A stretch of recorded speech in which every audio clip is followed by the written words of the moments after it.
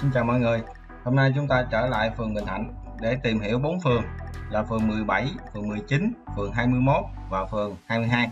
Về cái tên thì bốn phường này không liền kề với nhau nhưng mà về mặt địa lý thì nó có liên quan khá chặt chẽ với nhau. Hôm nay chúng ta sẽ tìm hiểu cái khu nhà giàu Vinhome là nằm trên ờ, địa bàn của phường 22.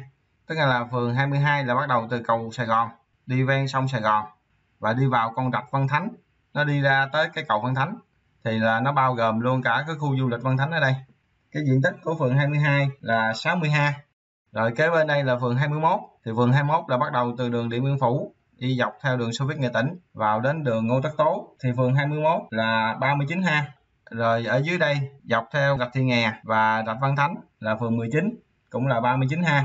Và cái phần bên đây cái phường cuối cùng là phường 17 là nó nằm giữa đường Điện Biên Phủ và đường Xô Viết Nghệ Tỉnh, phường 17 có diện tích là 64 ha thì tổng cộng của bốn phường này á, là 202 ha, tương đương khoảng 2 km vuông. Có nghĩa là nó bằng phân nửa của quận 4 bằng phân nửa của phường Trường Thọ, và nó bằng 1 phần 10 của cái quận Bình Thạnh này. Có nghĩa là diện tích của bốn cái phường này cũng khá nhỏ. Bây giờ chúng ta tìm hiểu phường 22 trước ha. Thì đây là cầu Sài Gòn. Con đường lớn, đại lộ đi vào cái khu ờ, đô thị Vinhome này là đường Trần Trọng Kim thì à, mình thấy xuất hiện một cái à, công viên lớn ở đây. Có nghĩa là nhà dân trong cái à, tam giác này sẽ bị giải tỏa để hình thành một công viên lớn ngay trên cầu Sài Gòn. Thì cái khu này á, là được quy hoạch bài bản là đẹp rồi nhưng mà nó cũng có một số chỗ mình thấy nó còn thiếu sót. Thì theo mình thấy trên bản đồ á, là cái đại lộ này nó đâm thẳng ra đây luôn nè. Có nghĩa là cái cây xăng và một phần của cái tòa nhà này sẽ bị giải tỏa.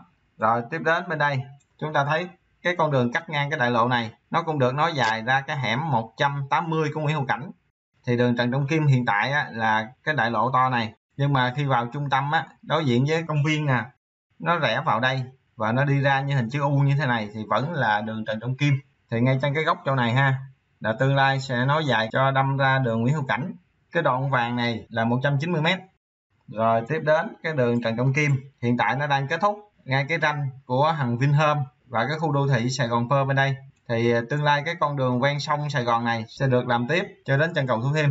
Thì cái đoạn trắng nó dài này là 550m thì mình thấy cái con đường Trần Trọng Kim nó rất là to và nó rất là đẹp. Nó xứng đáng với danh tiếng của ông Trần Trọng Kim vì ông là tác giả cuốn sách Việt Nam sử lược và ông cũng là người hình thành chính phủ Trần Trọng Kim trong thời mà Nhật Bản vào Việt Nam.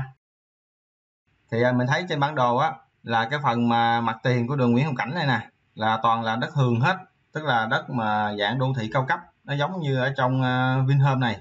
Nhưng mà chắc là cái giá bồi thường ở đây quá cao. Khó mà tìm được cái đơn vị nào giải tỏa được cái lượng nhà dân ở đây. Và sau khi nâng cấp cái con đường ờ, Nguyễn Hồng Cảnh này lên á thì cái chuẩn của nó hiện tại là 50 mét nha mọi người. Rồi tiếp tục đến cái phần sát cái ga Văn Thánh. Cái con đường mà chạy ở dưới cái đường dây metro nè sẽ được nối dài bằng cái con đường xanh mình vẽ đây. Nó chạy song song với cái đường ray metro ha. Đến đây thì nó bo cong như thế này để nối vào cái hẻm 15 của đường Võ Duy Ninh, thì tổng chiều dài của con đường màu xanh này là 460m tiếp đó là ta thấy khá quan trọng là cái hẻm 117 của Nguyễn Hữu Cảnh, là nó bắt đầu từ đây. Thì con hẻm này sẽ được mở rộng lên, nó đâm vào cũng ngay chân cái hẻm 15 của đường Võ Duy Ninh. Thì nguyên tuyến đường của con hẻm 117 này là 490m cái con hẻm 15 của Võ Duy Ninh tương lai cũng được nâng cấp lên để hình thành cái ngã ba quan trọng chỗ này bên hông của cái khu dân cư này á, nó sẽ được nối dài trong được đường Nguyễn Hữu Cảnh, như là con đường xanh mạ mà mình vẽ đây. Ở đây ta thấy là nguyên cái lô đất nằm ở giữa con đường xanh, con đường xanh mạ và con đường tím á, nó là đất hồng nha. Nguyên cái lô đất này sẽ bị giải tỏa và hình thành một khu đô thị mới. Và chúng ta thấy ngay góc ngã ba này, tiếp tục xuất hiện hai lô đất hồng, nằm hai bên cái đường hẻm 15 của Võ Duy Ninh. Mình thấy có cái chùa Văn Thánh nó lọt trong cái khu quy hoạch của đất hồng này. Rồi cái khu này thì sẽ có thêm hai con đường vàng được nâng cấp từ mấy con hẻm. Rồi giờ thì mời mọi người xem lại cái khu quy hoạch sát với cái ờ, khu du lịch Văn Thánh và cái ga Văn Thánh. Thì ờ, tương lai á, mình thấy cái khu du lịch Văn Thánh này nè, nó sẽ có nhiều thay đổi vì nó không còn là cái màu của đất du lịch nữa, mà nó đổi thành cái màu của quảng trường và công viên.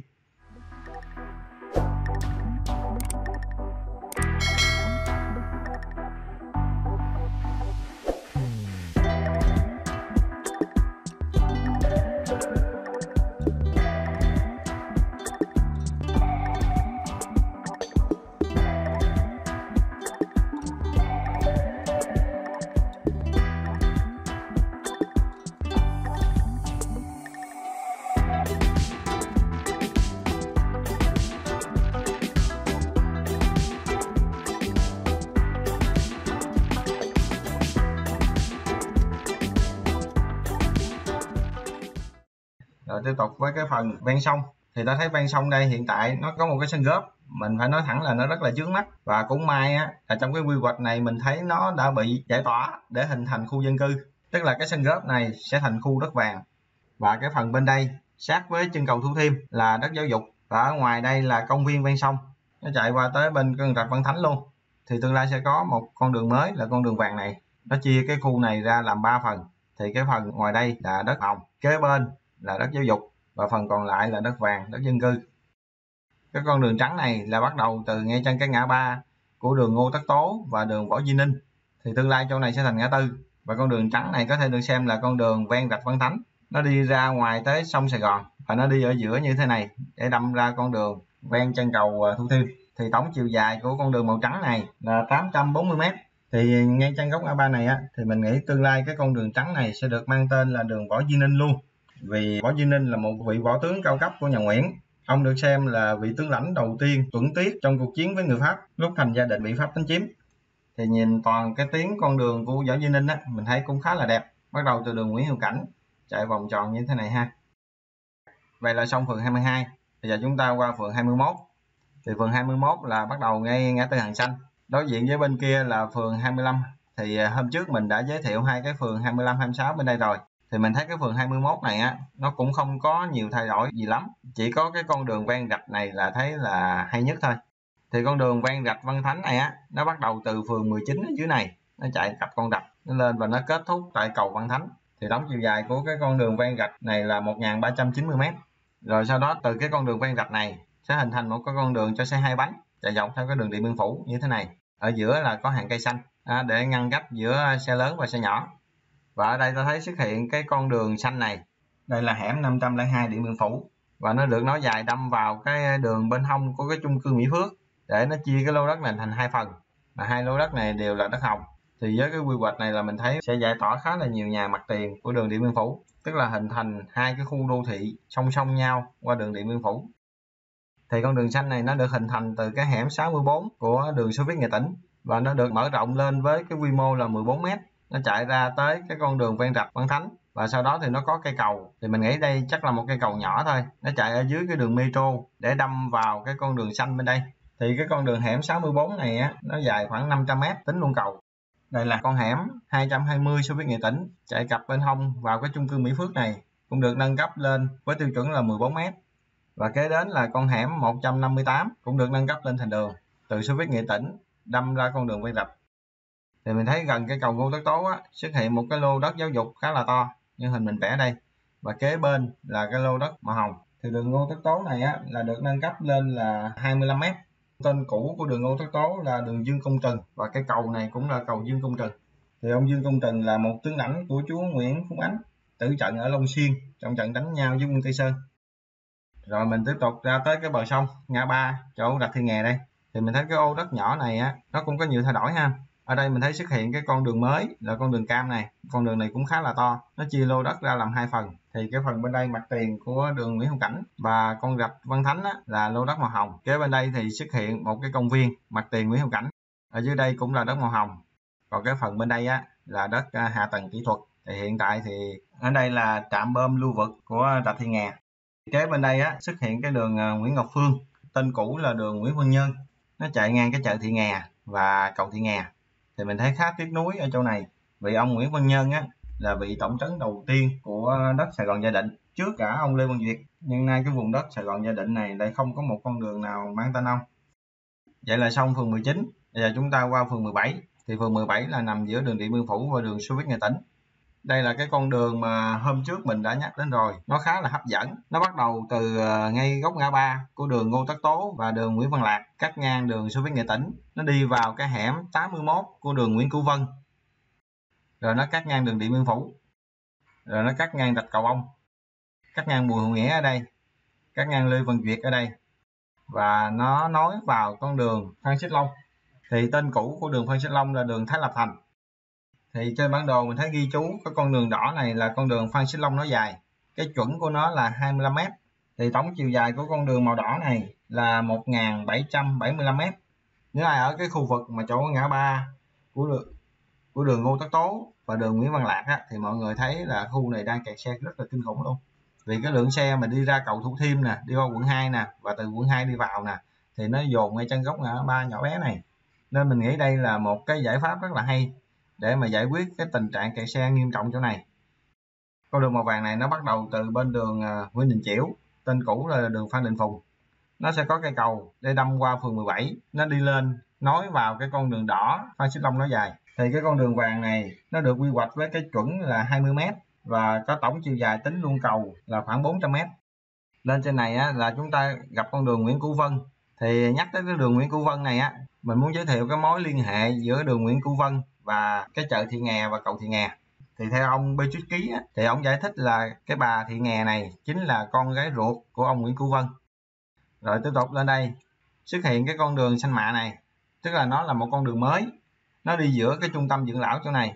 Nó nối vào cái hẻm 236 của Điện Biên Phủ bên đây. Tức là con đường này nó đối diện với cái con hẻm 124 của số Viết Nghệ Tĩnh bên đây.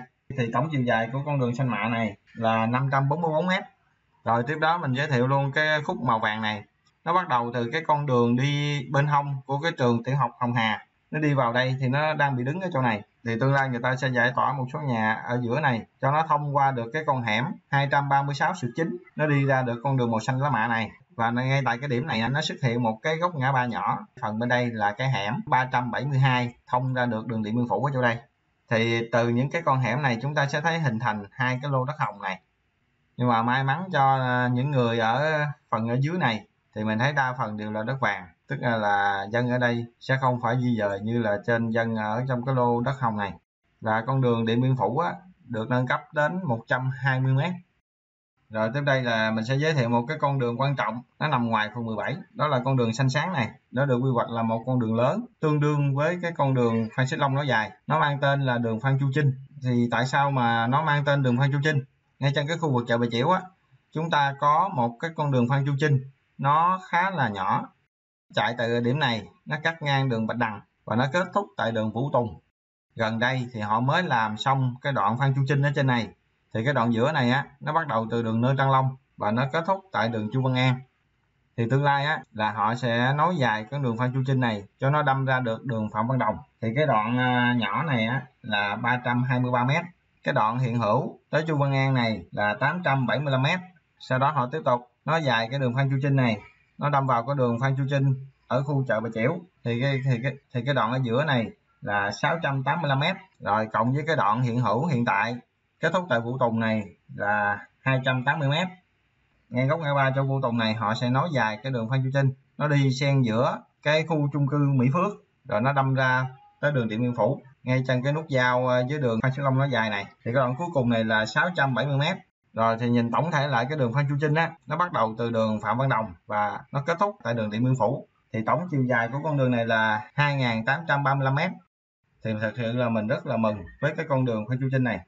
Nếu ai có tìm hiểu về cuộc đời của Phan Chu Trinh mà hoạt động bên Pháp á, ông sống một cuộc sống rất là khổ cực cùng với người con và Phan Châu Giật và đến khi ông mất á, thì người ta thống kê được á, là đến 6 vạn người giữ cái đám ma của ông tại Sài Gòn. Thì mình mong là sẽ có được một con đường nhỏ nào đó cắt ngang cái đại lộ Phan Chu Trinh này đặt tên là Phan Châu Dật đã có đóng góp rất nhiều trong cái sự nghiệp đấu tranh bất bạo động của ông Phan Chu Trinh thì ở đây là một cái nút giao 3 tầng tức nghĩa là cái con đường Phan Xích Long nó dài này nó có cầu vượt đi qua Điện Biên Phủ.